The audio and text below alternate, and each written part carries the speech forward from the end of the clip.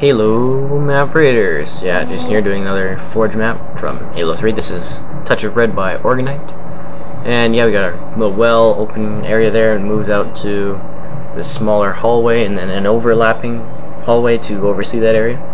Lots of different spots to shoot down on or you know, shoot up at. Good spots for throwing grenades and all that. Neat section. This is a cool map. It's smaller, team-based or individual play I would guess. Kind of this dividing wood planks there, and then we come off into this other section now. Got a broken area up here, kill ball, you know, crushing the rocks through. Pretty neat spot to go from. And then there's the rocket launcher, of course.